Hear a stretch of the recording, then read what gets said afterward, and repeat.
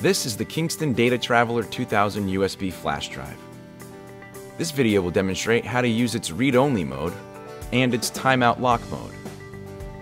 The read-only mode restricts write access to the drive. First, unlock the drive using your PIN. The solid red LED changes to green, indicating successful use of the PIN. Enable the options by pressing the key button three times. The green and blue LEDs will blink together. Within 10 seconds, press number 7, followed by the number 6. Then press the key button once. The blue LED fades to a solid green. When the drive is inserted into a USB port, the green LED blinks every 2 seconds to indicate read-only mode. We've applied a naming convention that makes it easy for users to remember the keystrokes for each optional setting. In this case, the number 7 and 6 uses the letters RO for read-only.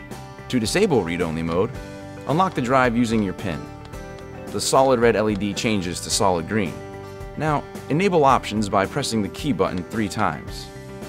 The green and blue LEDs blink together. Now within 10 seconds, enter the number 7, then the number 9. And then press the key button once. The blue LED fades to a solid green. We've applied a naming convention that makes it easy for users to remember the keystrokes for each optional setting. In this case, the number 7 and 9 uses the letters RW for read-write. The DataTraveler 2000 can be set automatically to lock after a specific amount of time. This feature can protect against unauthorized use when the drive is connected to a host but unattended. The timeout lock has to be activated and can be set for any time between 1 and 99 minutes.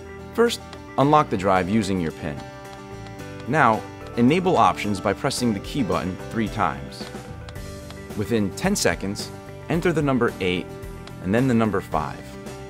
Press the key button once, then within 10 seconds, enter the length of user timeout in two digits. Press the key button once to enable timeout lock.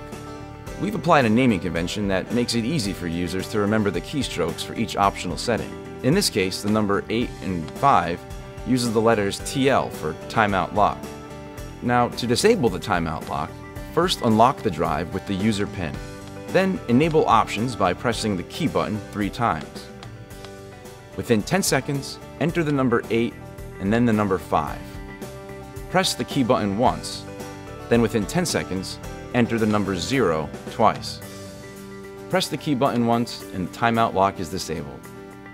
Learn more about the ultra secure DataTraveler 2000